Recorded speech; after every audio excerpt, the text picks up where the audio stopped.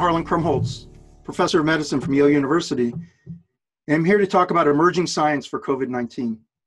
Today I'm talking about an article, a study that appeared on medRxiv. medRxiv is a preprint server, it's where people put studies prior to peer review.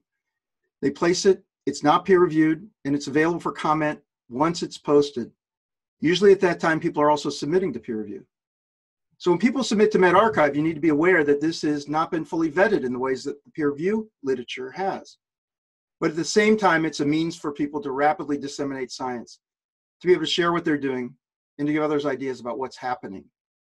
I'm talking about a study uh, that's called the International Expansion of a Novel SARS-CoV-2 Mutant.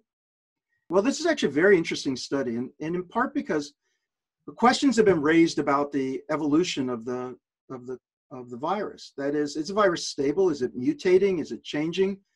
Uh, might that affect its transmissibility? To what extent can we infer from past experience what it's likely to do in the future?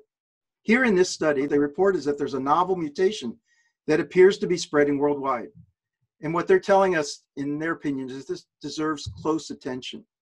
What they did was they studied uh, 95 samples from Sichuan province in China using next generation sequencing in acquiring uh, whole genome sequences, which were analyzed for sequence variation and evolution against other publicly reported genomes that were out there. And they also were looking at the geographic location and, and uh, provenance of these viruses. And what they found was that there were 10 high frequency mutations that they detected. And a high frequency mutation, in their view, represented something that was greater than 5%.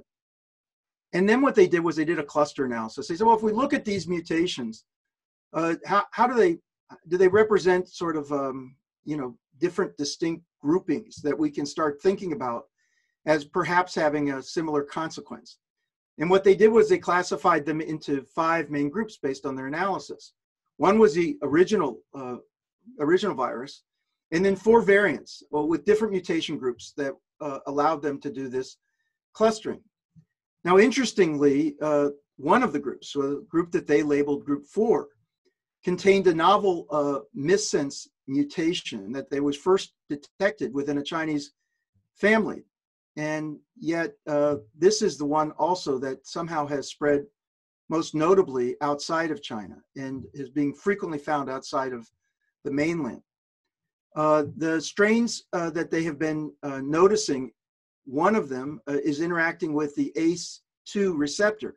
So as you know, this ACE2 receptor is important because this is how the virus is entering into the host.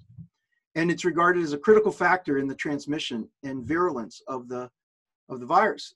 So here we're seeing, and what they're describing is that in the uh, part of the genome that is important for uh, encoding this, that uh, is interacting with this receptor is being uh, changed over time.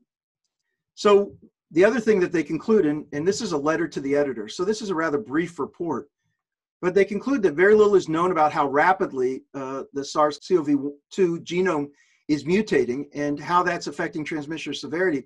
But what they're introducing in this letter to the editor that is a preprint, this preprint, is the notion that there is some evolution in this virus. It's changing. And those changes could have consequences of making it more highly virulent more highly transmissible, or if we're lucky, it could go in the other direction. But through natural evolution, there, there are changes that are already being able to be detected. There, it is not the exact same virus everywhere in the world. People are being infected by different strains already. And so it's going to be important to use this to track epidemiologically where this virus is moving, uh, the ways in which it's being transmitted. But also importantly, this is emphasizing why we we can't simply rely on past experience. So we need to learn as much as we can from what's going on in China and is going on throughout the world now. But we need to realize that this is a moving target, that there are things that we need to learn about it uh, in real time, because as these mutations occur, it may be affecting actually how it is affecting the population.